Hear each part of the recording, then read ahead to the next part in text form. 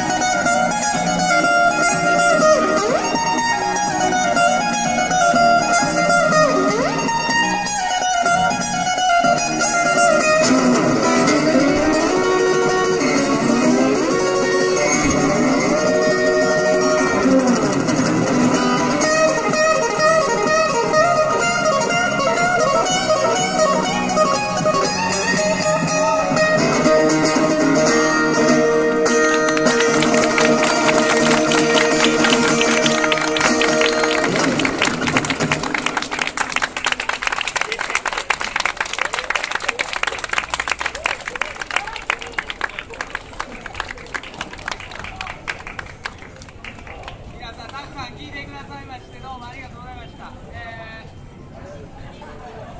チラシがあのこちらのございますから興味ある方はぜひ持って帰ってもらいたいですがあの僕ですね今週末11月の2日3日と渋谷の方で2日間あのライブしますんでそれで、今日はここであのあの最後のお願いにやってまいりましたんでぜひよかったら